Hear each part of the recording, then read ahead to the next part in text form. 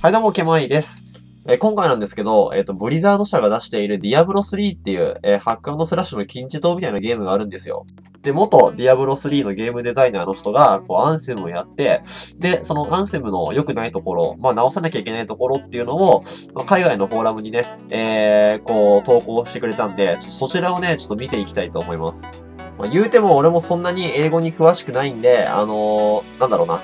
さらっと、まあ、意図が分かればぐらいのノリで、ちょっと、あの、見ていきたいと思います。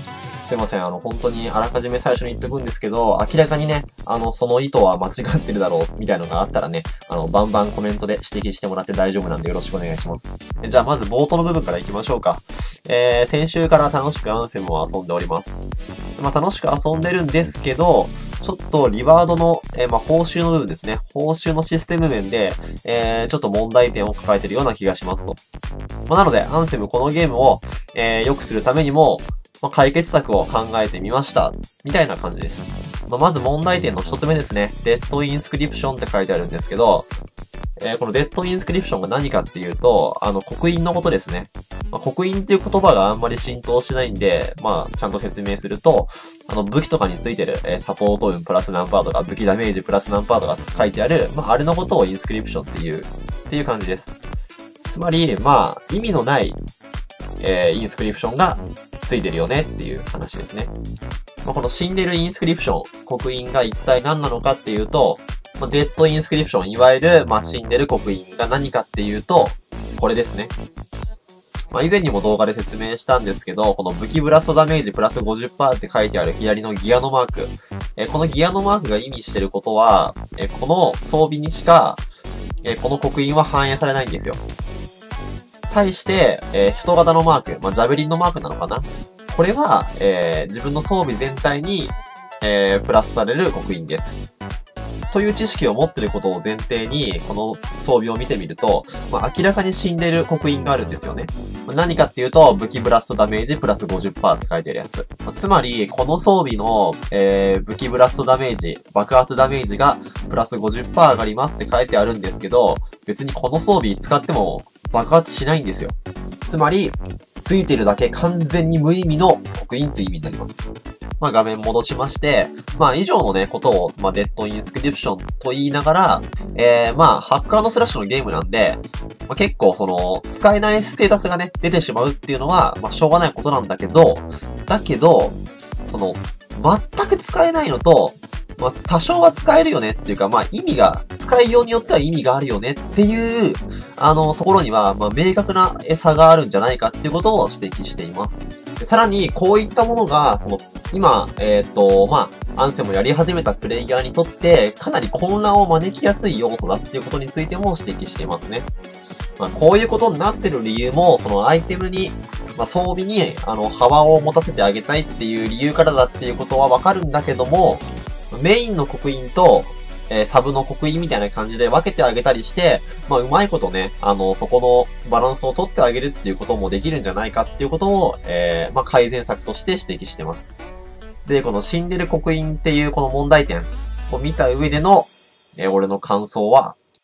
俺らが言いたかったことを全て代弁してくれたっていう感じですね。ま、その、めちゃくちゃドロップ率が渋いレジェンダリーをやっとの思いで落として、まあ、クエスト終わって、もうどんなのが出るかなってワクワクしながら蓋を開けてみたら中には、もう何の意味もない、えー、刻印が、まあ、2つとか3つとかついてるみたいな。もう本当にナイルじゃん。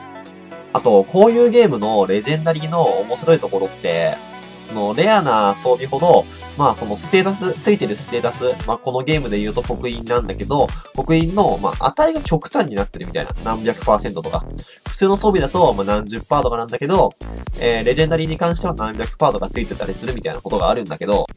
まあそういうのを見て、その、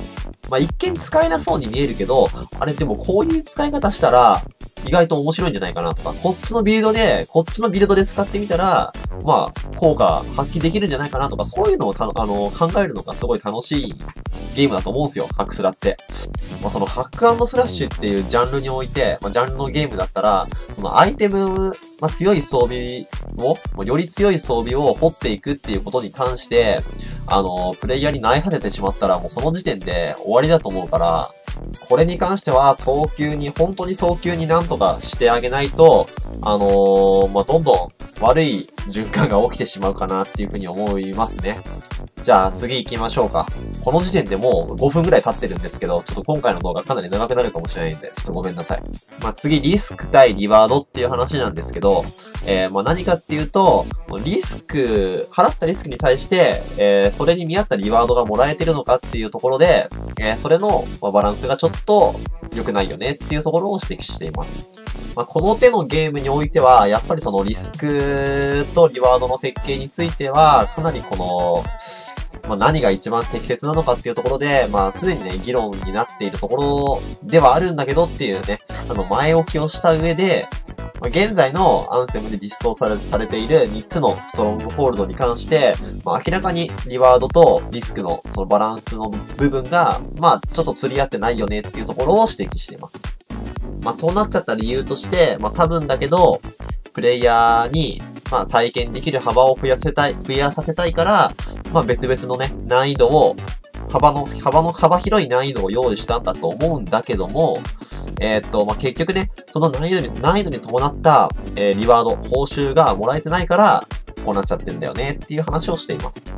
まあ、この問題の改善策として、えー、挙げ、挙げられているのが、まあ、3つのストロングホールドをしっかりこう難易度を、まあ、平等にしてあげるっていう方法か、それともこの難易度によって、えー、報酬をしっかり高く上げてあげるっていう、えー、バランスの調整を、まあ、してあげないといけないよねっていう話をしています。まあ、これに関しての俺の意見なんだけど、まあ、これに関してはちょっと、んって思うところがあって、俺、まあ、ちょ、これに関してはちょっとわかんない何にもちょっとあの、はっきりした情報がないからわからないんだけど、あの、個人的には、やっぱりあの、一番下のね、雲を回るよりも、まあ一番上の渦を回った方が、まあ防逆の渦、防逆の渦を回った方が、まあ難易度は高いんだけど、まあ落ちるものがいいのかなっていう風に思ってたんだけど、それに関しては、なんだろう。一緒っていう結論がもう出てるっていうことなのかな。まあ俺は何を言いたいかっていうと、えっと、まあ、例えば、雲と渦を比較するとするじゃないですか。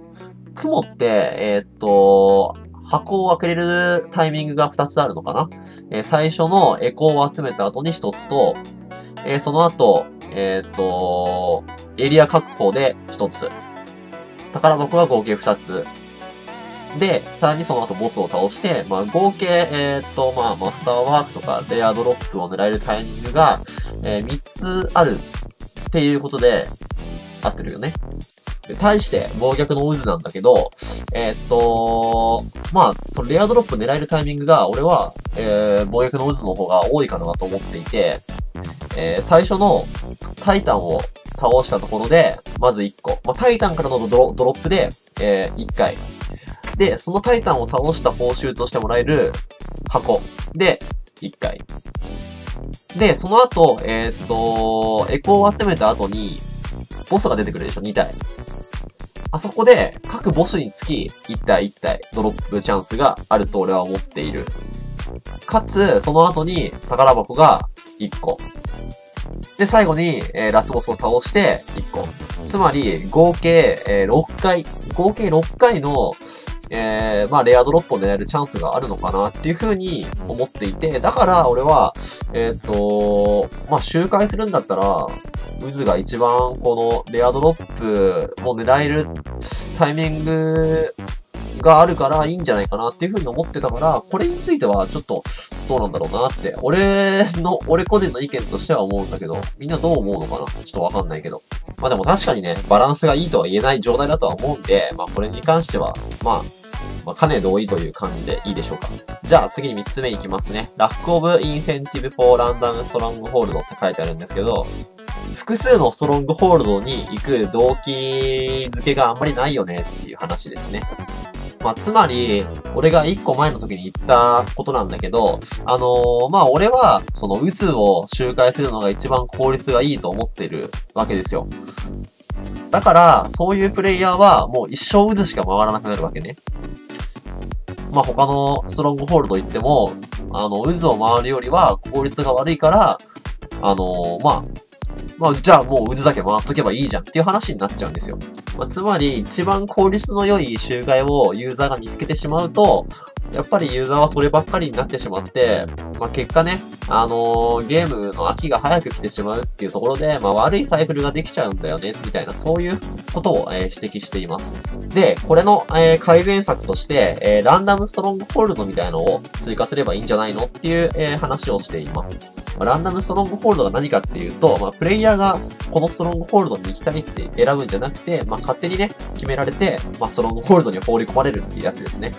さらに、そのランダムストロングホールドで、えー、しっかりね、えー、クリアすることによって、まあ、追加の報酬が得られたりするっていう風にすれば、まあ、すべてのね、ストロングホールドをしっかりこう、ユーザーに遊んでもらえるんじゃないかっていうところで、えー、ところをね、改善策として挙げています。まあ、これについての感想なんですけど、まあ本当に、これに関してはもう何も言うことはないですね。もうその通り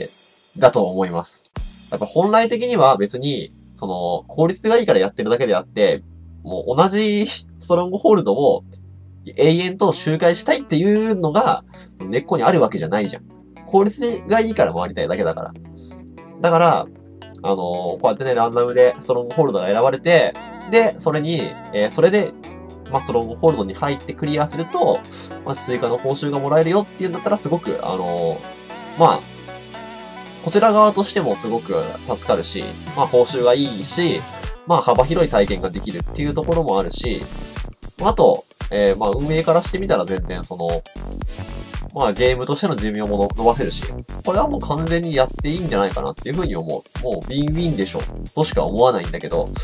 うん、っていう感じの感想です。っていうわけなんですけど、ちょっとね、あまりにも長くなっちゃいそうなんで、一旦ここで切って、あの、後編は、あの、次回また上げたいと思うんで、すいませんけどよろしくお願いします。まあ、いつもとちょっと、打って変わって、すごく真面目な動画になってしまってるんで、まあ、いつも別にふざけてるわけじゃないですけどね。